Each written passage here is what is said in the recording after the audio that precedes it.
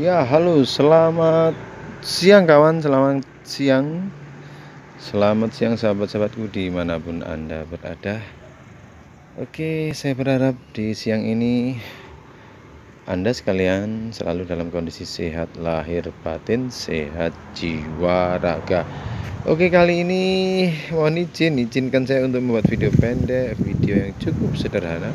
Dan kali ini akan saya tampilkan salah satu profil tambulapot yang dikoleksi di KTP Kampung Tambulapot Badas Kampung Tanaman Buah dalam pot badas. Oke.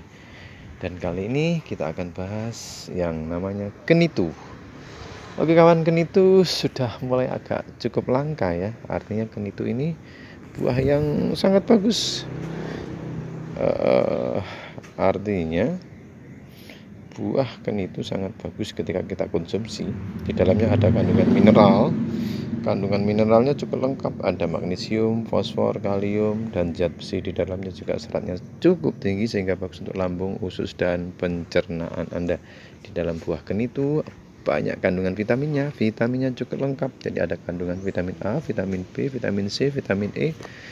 Dan di dalamnya juga banyak antioksidan yang cukup. Di dalamnya antioksidannya cukup tinggi yang bagus untuk menggelontor membuang racun-racun yang ada dalam tubuh kita. Karena kita biasa makan sampah. Makanan junk food makanan-makanan yang kurang bagus untuk tubuh itu perlu dibuang perlu digelontor. Uh, uh, oke begitu ya bagi anda yang menginginkan pohon tabu lampot genitu ini yang cukup besar ukurannya silahkan anda datang ke KTP Kampung Tambulapet Badas di Jalan Kunjang 108 Desa Badas Kecamatan Badas Kabupaten Kediri Jawa Timur Indonesia. Atau lebih tepatnya di seputaran Masjid Jami Baitur Rahman di seputaran Balai Desa Badas di seputaran Bukis Mas Badas di seputaran MTS Al-Fatah Badas. Oke ya terima kasih atas perhatiannya. Mohon maaf jika ada kekurangan kita ketemu lagi di lain waktu. Terima kasih. Wassalam.